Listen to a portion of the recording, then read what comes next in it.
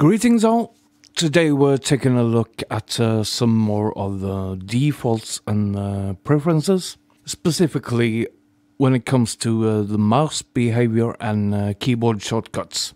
And this is a tricky one because there is no uh, definite answer to um, how you want it set up. It really is an individual thing. And for uh, this video I've just imported a few drum tracks.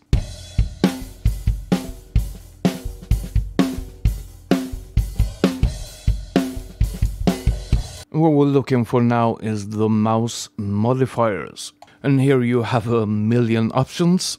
There's media item, envelopes, automation track, and so on. For years I've been working in Samplitude Pro from uh, Magix. What I've gotten used to there is the universal mouse mode, where you split every uh, object or media item in half, and you have a separate uh, things uh, that you can do with the mouse on the upper and lower half of the item. So there's a couple of things that I've uh, changed here. First one is uh, using the top half for uh, time selection. You can already do that up in the ruler here, but um, I prefer doing it on the item. Also, there's a shift left drag, and this is where I can uh, do the marquee select and time selection both at once. Say if I want to uh, copy a section from multiple uh, tracks, that's very handy. By default, this is set up uh, to be a right click uh, thing, but uh, that's something I don't really like. Uh, much prefer to have it on the left mouse button.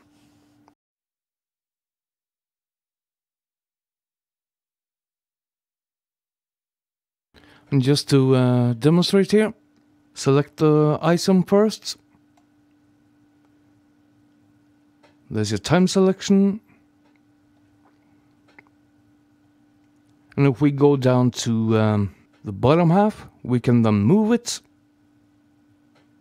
We can copy a selected area of items and paste that one in there.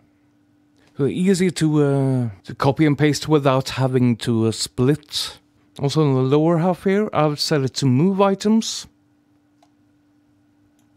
We also have the marquee selection, shift, left drag.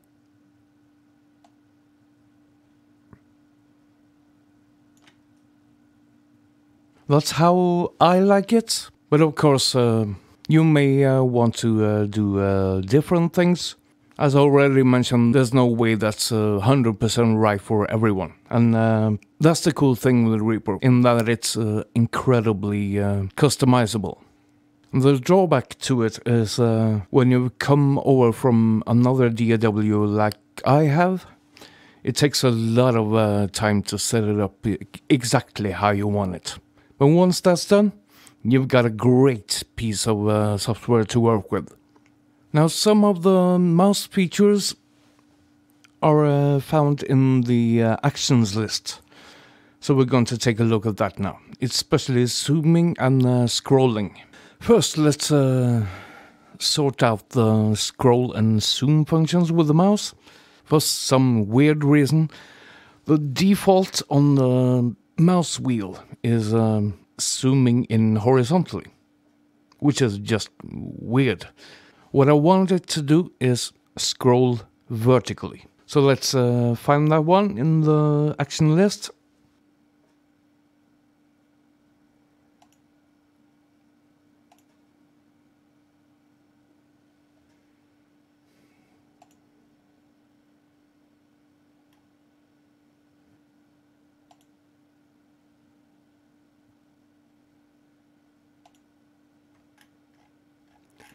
Now that one's uh, right, we can uh, scroll up and down with the mouse wheel. That's what I'm used to in every other uh, software uh, that I use. Now for zooming, what I've been used to for a while now is using shift and the mouse wheel to zoom horizontally. Delete the old shortcut there. Click add, shift mouse wheel, and that's much better. Another one I want to uh, change is the um, size of the waveform view or increase peaks view gain. It's a very odd way of um, naming it, but uh, okay. I'm used to uh, from uh, Samplitude to use uh, the control and arrows, so that's what I'm going to change.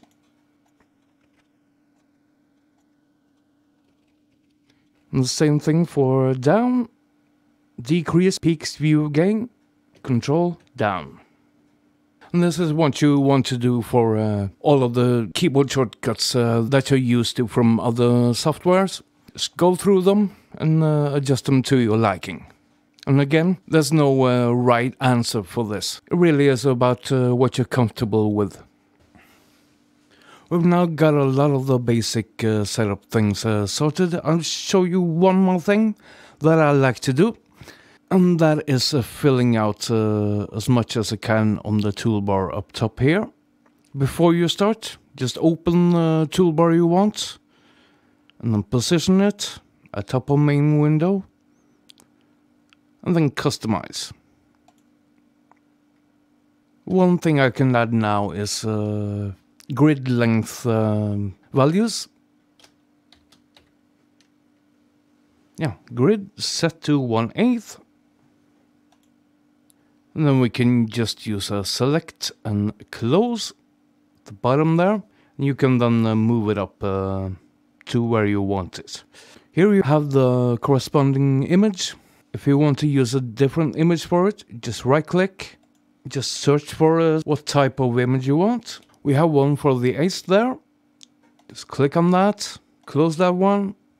And then you can see uh, that's uh, refreshed. Click on save and then uh, close.